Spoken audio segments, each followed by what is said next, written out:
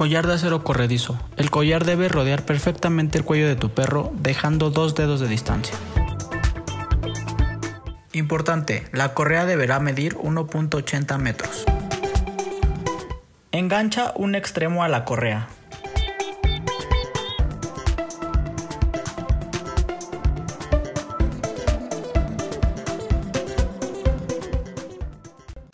Pasa la cadena por en medio del aro y deslízala completamente.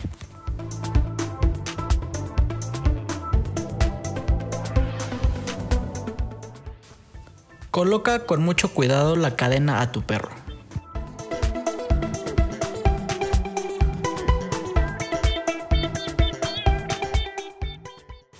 Muéstrale una pelota u objeto que él reconozca y llévalo enfrente de la cadena.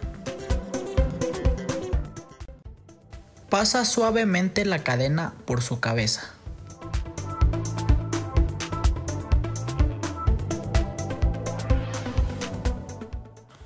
Ya que dominaste lo anterior, esta vez sin ningún objeto, hazle pensar a tu perro que le vas a dar algo e introduce la cadena suavemente.